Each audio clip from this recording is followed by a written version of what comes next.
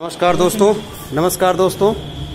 आप देख रहे होंगे, यहाँ पे डिफेंस के पर्सन है, मैं इनका चेहरा नहीं दिखाना चाहूँगा, और ये पैरामिलिट्री फोर्स के जवान हैं, जो हसनपुर, अमरोहा डिस्ट्रिक्ट के हसनपुर एरिया में इलेक्शन ड्यूटी के लिए आए हुए हैं। और आप देख सकते हैं, यहाँ पे हमारा यहाँ लंगर चलता है, और इस लंगर में तरह तरह के खाने बनते हैं, और जिसमें आज का मेनू इस प्रकार था कि हमारे यहाँ खीर बनना था।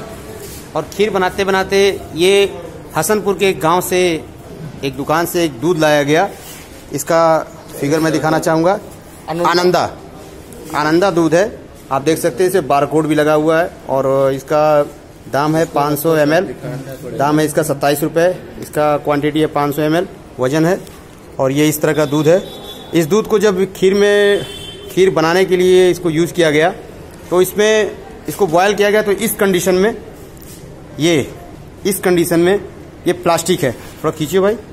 ये प्लास्टिक की तरह ये फैलता चला जा रहा है। ये देख सकते हैं, ये खोआ भी नहीं है और ये प्लास्टिक की तरह टूट रहा है और ये पूरे कढ़ाई में प्लास्टिक बन गया।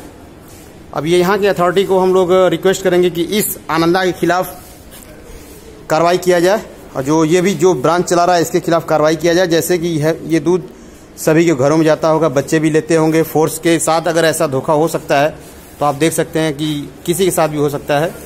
और यहाँ पे यूनिट रुकी हुई है इलेक्शन का माहौल है और बाकी का अब कार्रवाई जो भी होगा, आप आप लोग खुद समझदार हैं। इसके खिलाफ कार्रवाई होनी चाहिए। यहाँ के प्रशासन से हम लोग रिक्वेस्ट करेंगे, ये कार्रवाई होनी चाहिए। ये देखिए, रबड़ का रबड़ का पूरा ये रूप ले चुका है। ये आप देख सकते हैं, मैं हाथों से इसको तोड़ रहा हूँ। और बाकी का जो भी हो कार्रवाई, इसको आप लोग रिक्वेस्ट है, आगे ज़्यादा से ज़्यादा शेयर करें फॉरवर्ड करें, ताकि इस बंदे के खिलाफ कार्रवाई हो सके। जय हिंद।